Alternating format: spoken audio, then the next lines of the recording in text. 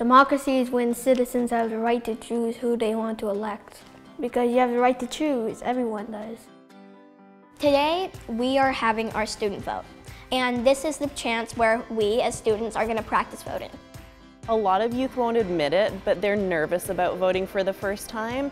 And so having gone through this in a, a, safer setting gives them way more confidence to actually get out and go vote in their first real election. At the start of the year, I didn't really feel much about politics. I didn't really think about it that much until we started learning about it. And then I thought it was pretty cool and pretty interesting that we actually were able to vote. Politics seemed a little bit confusing and I wasn't sure how I'd ever understand or be able to um, know what they were talking about. But I find politics um, quite interesting because it's the fate of your country and it's in your hands. For me, a democracy is being able to choose who you want leading your country rather than being oppressed and forced into believing something. One of the things that they came to us, that they actually could have some power and control over this.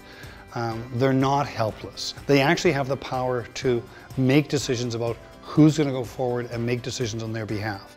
Before we did this, I didn't think the election would affect me at all, being 15 and all, but I think after this, I'll pay a lot closer attention to the news, what the current political parties are saying. Student vote is an incredible experience and it needs to happen every election. Kids need to have this experience. Getting to actually firsthand exercise that right and appreciate everything that our people before us have been through to earn this, it's a privilege and we truly feel lucky that we got to exercise that right.